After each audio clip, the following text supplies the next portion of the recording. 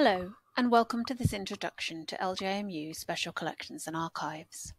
This session is designed to provide a general overview of the collections we hold at LJMU and the types of material they contain.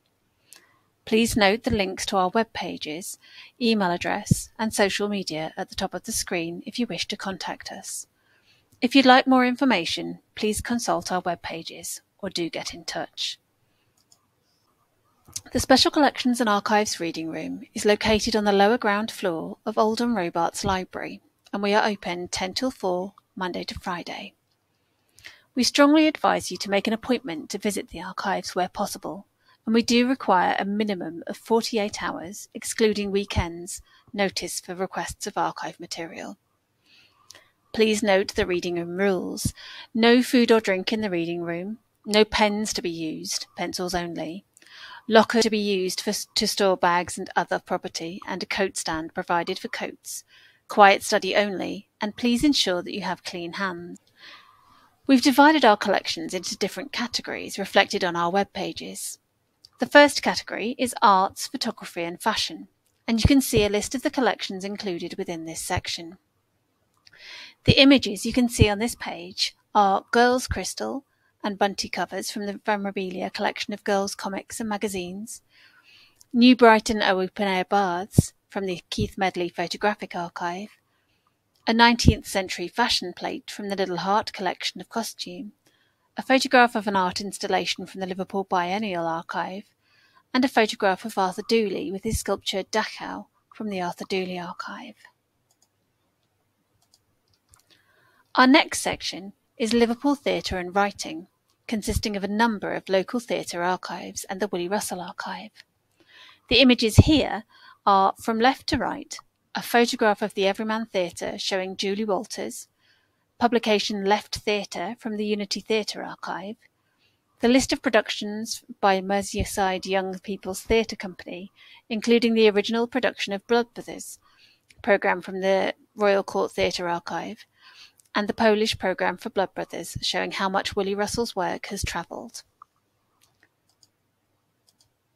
The next category is popular music and counterculture. This is the largest section, which includes a wide variety of collections. The images here are Anarchy in the UK magazine and God Save the Queen flyer from England's Dreaming, the John Savage archive, a copy of the Beatles book, the Beatles fan magazine, from a complete run of the magazine in the Paul McCartney Many Years From Now collection.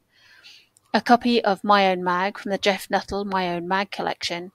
An issue of IT or International Times magazine from the International Times The Barry Miles archive. Poster for the Naked City from Situationist International The John Macready archive cover of Teenage by John Savage, representing the Teenage Archive, along with a copy of Modern Teen, also from this collection. And finally, a cover of Street Style, representing the Street Style Ted Polhemus Archive. Next, we have our institutional history collections, LJMU History. These collections cover the history of LJMU and its preceding institutions. There are four main collections, although there is some additional material held as well. The images here show a photograph of two students and another of preparations for the annual ball in the 1930s from the Liverpool School of Art archive. The war cake recipe from the F.L. Calder School of Cookery archive, written in 1914 and tested by our staff and students over a hundred years later a photograph of the outdoor pool and diving board at the I.M. Marsh College of Physical Education, and a plan for the School of Science from the Byrom Street Archive. Special Collections covers a number of collections of mainly published materials, such as the Special Collections books. The images here show two advertisements from the ephemeral collection Home and Away for curtains and a washing machine, a photograph from a souvenir cruise brochure from the Life on the Ocean Wave collection, a cover of Punch from the 19th century periodicals collection, a photograph of the operations room from the Stafford Beer archive. This collection fits at once in all and none of the previous categories. Stafford Beer was a polymath and a cybernetician, professor and an honorary fellow of LJMU, and is best known for his work in Chile in the early 1970s when this room was developed as part of Project Cybersyn. More information about all of these collections can be found on our web pages. Finding LJMU archive material can be a little confusing since some collections are on our online catalogue and others are not. Our online catalogue can be found through our web pages or at archives.ljmu.ac.uk. You can conduct a free text search in the search box on the front page or go into the advanced search to conduct more complicated searches. Once you have some search results, you can click on the reference numbers to find out more information about the collection. Other collections not yet added to our online catalogue will have a PDF list or a spreadsheet available through the web pages. There are some collections which do not yet have a list available online. You can also now search for archive material on the Library Discover system.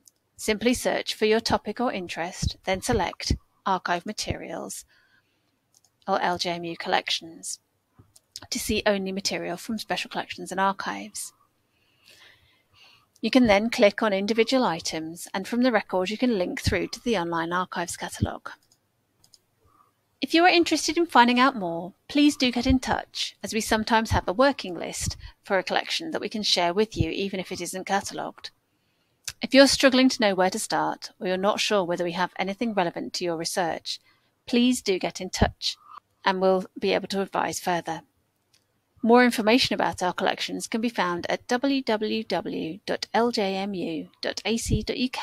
forward slash library forward slash archives. Please do get in touch if you have any questions or would like to know more at our email address archives at ljmu.ac.uk.